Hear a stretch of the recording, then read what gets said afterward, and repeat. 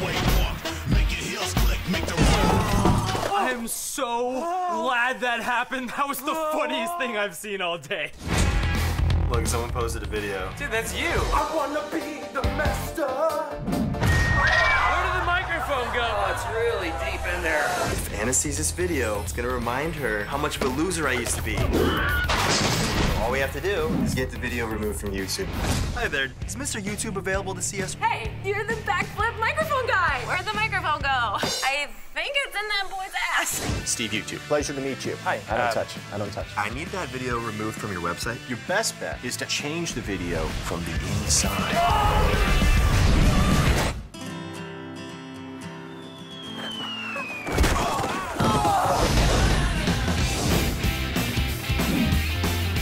Listen, you're gone. What the hell?